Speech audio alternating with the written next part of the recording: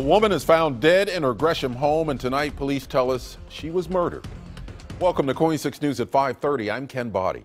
The crime alert happened at the Bellacres Mobile Estates in the 2900 block of Northeast Division Street in Gresham. Our Chris Woodard is there live, and Chris, what's the latest on this? Well, still a lot of questions tonight, Ken, for everyone who lives in this area. Now, police are still on the scene tonight. We just saw a detective drive in a short time ago. A few minutes ago, I saw some officers searching a wooded area near this home as well. But this all started Saturday afternoon. That's when we've learned this woman was found in her home by some relatives who'd gone to check on her. I've learned that the woman was dead by the time police and paramedics arrived. The only thing police are saying right now about who this victim is is that she is an adult female. Uh, as for how she died and who may have done this, that's something police are not talking about tonight at this point, not saying whether they have that information or are still trying to figure it out. Now, obviously, that is something neighbors here are very anxious to learn.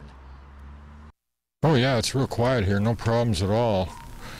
You know, that's why we all move here, because it's so safe. And, like, this is really shocking, you know, have something like this happen right next door to you. Uh, everyone's really stunned. Uh, don't know what to believe.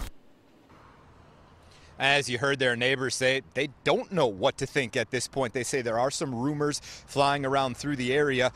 But again, right now, police not giving much information as to what happened, keeping that quiet tonight. Now, neighbors tell us that this victim largely kept to herself. They say they think she may have had some family living in this area as well. Again, police still investigating, and this is a an area that neighbors tell me is largely quiet. A lot of retirees living here, so something like this happening, even more of a shock for them. This is an investigation we will continue to follow for you and have an update later this evening.